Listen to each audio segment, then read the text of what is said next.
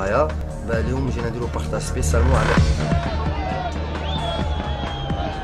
بمجرد سماعهم أنباء الملاسنة بين رئيس وزرائهم رجب طيب أردوغان والرئيس الإسرائيلي شيمون بيريز في منتدى دافوس حضر آلاف الأتراك إلى مطار إسطنبول لاستقبال زعيمهم.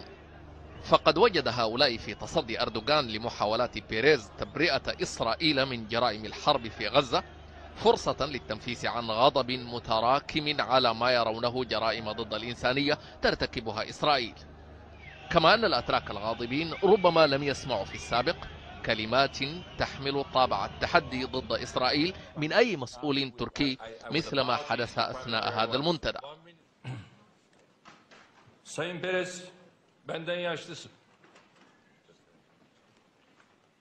Sesin çok yüksek çıkıyor. سيد بيريز أنت أكبر مني سنا. وقد استخدمت لغة قوية. أشعر بأنك ربما تشعر بالذنب قليلا. لذلك ربما كنت عنيفا. أنا أتذكر. الأطفال الذين قتلوا على الشاطئ. وأتذكر قول رئيسي وزراء. من بلدكم أنهما يشعران بالرضا عن نفسيهما عندما يهاجمان الفلسطينيين بالدبابات. وأشعر بالحزن حين يصفق الناس لما قلته لأن عددا كبيرا من الناس قد قتلوا. وأعتقد أنه من الخطأ وغير الإنساني أن نصفق لعملية أسفرت عن مثل هذه النتائج.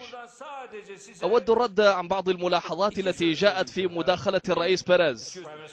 من المؤسف أنه لا يوجد وقت كثير.